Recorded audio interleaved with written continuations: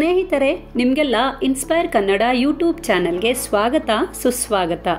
ತಣ್ಣಗೆ ಬೀಸುವ ಗಾಳಿ ಅಕ್ಷಿಪಟಲವನ್ನು ಒಮ್ಮೊಮ್ಮೆ ದುಗ್ಮೂಢಗೊಳಿಸೋ ವನ್ಯಸಿರಿ ಸಂಪತ್ತು.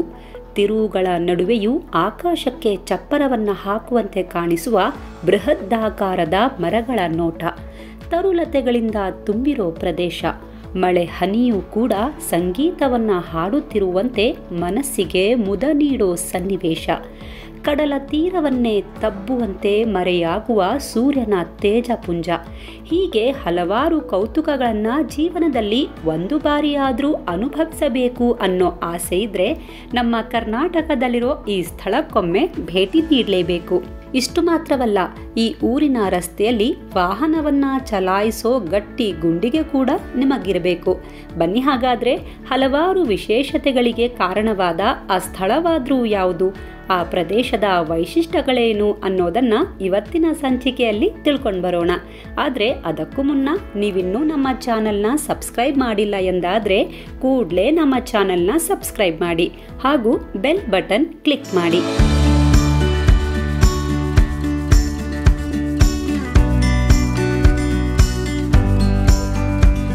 ವೀಕ್ಷಕರೇ ಆಗುಂಬೆ ಈ ಊರಿನ ಹೆಸರನ್ನ ಕೇಳ್ತಿದ್ದ ಹಾಗೆ ಸಾಕಷ್ಟು ಜನರಿಗೆ ಮಲೆನಾಡು ನೆನಪಾಗುತ್ತೆ. ಹಾಗೆ ಇನ್ನೊಂದಿಷ್ಟು ಜನರಿಗೆ ನಮ್ಮ ಅಣ್ಣ ಅವರು ಹಾಗೂ ಮಂಜುಳಾ ಗುರುರಾಜ್ ಇಬ್ಬರೂ ಸೇರಿ ಹಾಡಿರೋ ಆಕಸ್ಮಿಕ ಚಿತ್ರದ ಆಗುಂಬೆಯ ಪ್ರೇಮ ಸಂಜಯ ಅನ್ನೋ ಗೀತೆಯು ನೆನಪಾಗುತ್ತೆ. ನಿಜಕ್ಕೂ ಆಗುಂಬೆಯ ಸೌಂದರ್ಯ ಅದೆಷ್ಟು ಅದ್ಭುತವಾಗಿದೆ ಅಂದರೆ, ಸ್ವರ್ಗವೇನಾದರೂ ಭೂಮಿಯ ಮೇಲೆ ಇದೆಯಾ ಅಂತ ಯಾರಾದರೂ ಕೇಳಿದರೆ ಒಂದು ಬಾರಿ ಆಗುಂಬೆ ನೋಡಿ ಬಂದ್ರೆ ಸ್ವರ್ಗ ಎಲ್ಲಿದೆ ಅಂತ ಗೊತ್ತಾಗುತ್ತೆ ಅನ್ನೋ ಉತ್ತರವನ್ನ ನೀಡುವಷ್ಟು ಚಂದವಾಗಿದೆ ಆಗುಂಬೆಯ ಪರಿಸರ.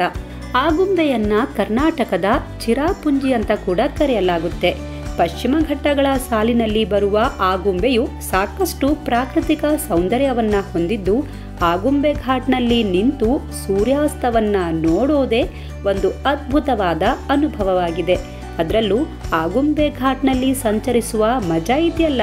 ಅದನ್ನಂತೂ ಪದಗಳಿಂದ ವರ್ಣಿಸೋಕೆ ಸಾಧ್ಯವೇ ಇಲ್ಲ. ಅಷ್ಟು ಅದ್ಭುತವಾಗಿರುತ್ತೆ ಆಗುಂಬೆ ಘಾಟ್ನಲ್ಲಿ ಮಾಡುವ ಪ್ರಯಾಣ.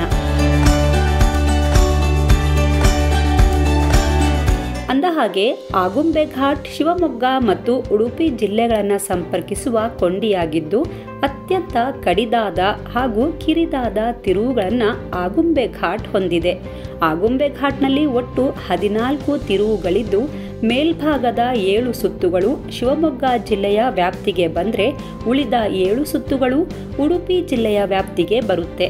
ಅಲ್ಲದೆ ಆಗುಂಬೆ ಘಾಟ್ ಅಪರೂಪದ ವನ್ಯ ಸಂಪತ್ತಿನ ತಾಣವೂ ಆಗಿದ್ದು ಸಾಕಷ್ಟು ಆಯುರ್ವೇದಿಕ ಗಿಡಮೂಲಿಕೆಗಳನ್ನು ನಾವು ಆಗುಂಬೆ ಘಾಟ್ನ ಸುತ್ತಲೂ ಹರಡಿರುವ ಅರಣ್ಯ ಪ್ರದೇಶದಲ್ಲಿ ಕಾಣಬಹುದಾಗಿದೆ.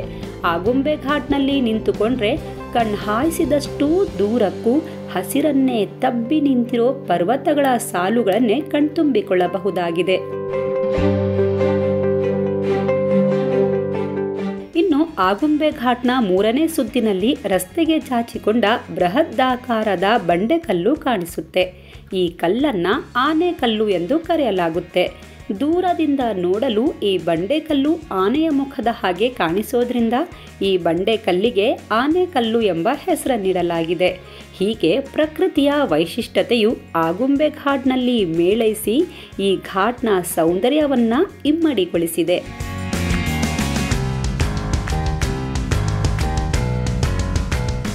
ಇಷ್ಟು ಮಾತ್ರವಲ್ಲದೆ ಚಳಿಗಾಲದ ಸಮಯದಲ್ಲಂತೂ ಆಗುಂಬೆ ಘಾಟ್ ದಟ್ಟ ಮಂಜಿನಿಂದ ಆವರಿಸಿ ಹೊಸದೊಂದು ಲೋಕವನ್ನೇ ಸೃಷ್ಟಿ ಮಾಡಿಬಿಡುತ್ತೆ. ಹಾಗೆ ಮಳೆಗಾಲದಲ್ಲಿ ಬೀಳುವ ಮಳೆಹನಿಗಳು ಕೂಡ ಆಗುಂಬೆ ಘಾಟ್ನ ಸೌಂದರ್ಯ ರಾಶಿಯನ್ನ ನೂರ್ಮಡಿಗೊಳಿಸುತ್ತವೆ. ಅಲ್ಲದೆ ಆಗುಂಬೆ ಘಾಟ್ಗೆ ಭೇಟಿ ನೀಡಿದರೆ ಹಚ್ಚ ಹಸುರಿನ ವನಸಿರಿಯ ಮಧ್ಯದಲ್ಲಿರೋ ಬರ್ಕಣ ಜಲಪಾತ ಒನಕೆ ಅಬ್ಬಿ ಜಲಪಾತ, ಜೋಗಿಗುಂಡಿ ಜಲಪಾತಗಳನ್ನು ಕೂಡ ಕಣ್ತುಂಬಿಕೊಂಡು ಬರಬಹುದಾಗಿದೆ.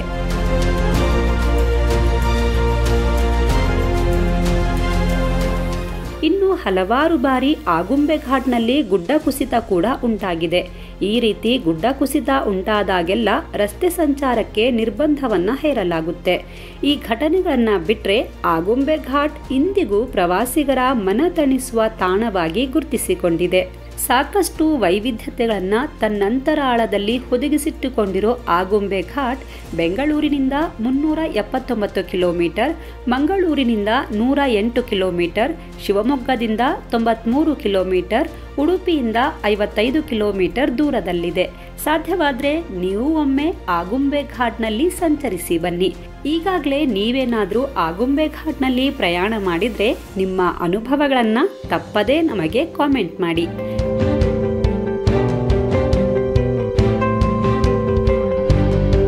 ಸ್ನೇಹಿತರೆ ದಯವಿಟ್ಟು ವಾಹನ ಚಾಲನೆ ಮಾಡುವಾಗ ಅತ್ಯಂತ ಎಚ್ಚರಿಕೆಯಿಂದ ವಾಹನ ಚಾಲನೆ ಮಾಡಿ. ಹಾಗೆ ಯಾವುದೇ ಪ್ರವಾಸಿ ಸ್ಥಳಗಳಿಗೆ ಹೋದರೂ ಪ್ಲಾಸ್ಟಿಕ್ ತ್ಯಾಜ್ಯವನ್ನು ಎಸೆದು ಬರದೆ ಆ ಪ್ಲಾಸ್ಟಿಕ್ ತ್ಯಾಜ್ಯವನ್ನು ಕಸದ ಬುಟ್ಟಿಯಲ್ಲಿಯೇ ಹಾಕಿ ಬನ್ನಿ ಅನ್ನೋ ಸಣ್ಣ ಮನವಿಯನ್ನು ಮಾಡ್ತಾ ಇವತ್ತಿನ ಇನ್ಸ್ಪೈರ್ ಕನ್ನಡ ಸಂಚಿಕೆಯನ್ನು ಮುಗಿಸ್ತಾ ಇದ್ದೀವಿ. ಈ ವಿಡಿಯೋ ನಿಮಗೆ ಇಷ್ಟವಾಗಿದ್ದರೆ ಲೈಕ್ ಮಾಡಿ ಹಾಗೂ ನಿಮ್ಮವರೊಂದಿಗೆ ಶೇರ್ ಮಾಡಿ. ನೀವಿನ್ನೂ ನಮ್ಮ ಚಾನಲ್ನ ಸಬ್ಸ್ಕ್ರೈಬ್ ಮಾಡಿಲ್ಲ ಅಂದರೆ ಈಗಲೇ ಸಬ್ಸ್ಕ್ರೈಬ್ ಮಾಡಿ ಹಾಗೂ ಬೆಲ್ ಬಟನ್ನ ಕ್ಲಿಕ್ ಮಾಡಿ. ವಂದನೆಗಳು.